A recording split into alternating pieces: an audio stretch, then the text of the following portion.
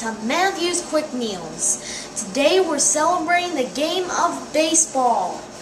Today's meal is a boiled hot dog and some seasoned fries. Let's get started.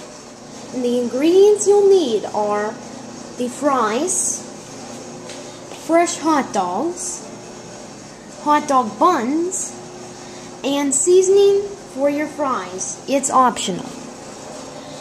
A pan with aluminum foil for easy clean.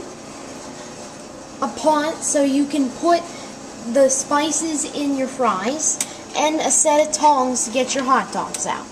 And first we're going to use our pot and put some water into our pot.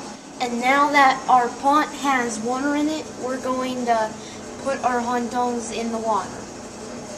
And now you are going to turn your burner on to a safe high temperature so our hot dogs can boil. And next we're going to be preheating the oven to 400 degrees.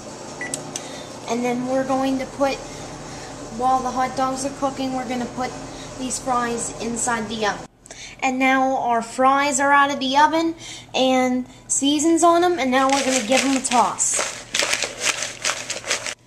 You can either choose any two plates like with a handful of chips with it or my special seasoned fries.